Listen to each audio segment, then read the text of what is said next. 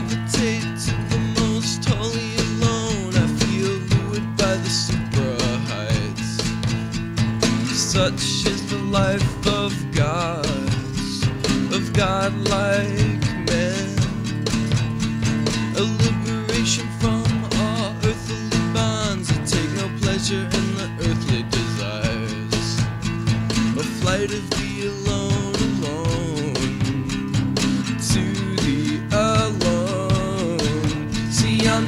deliberately feeling my way. See, I am power over faculty, so flighty and free. At an altar of a power rising underneath. You see, all through the ages of time. I never had to say that I tried. You all through the ages of times. I never had to say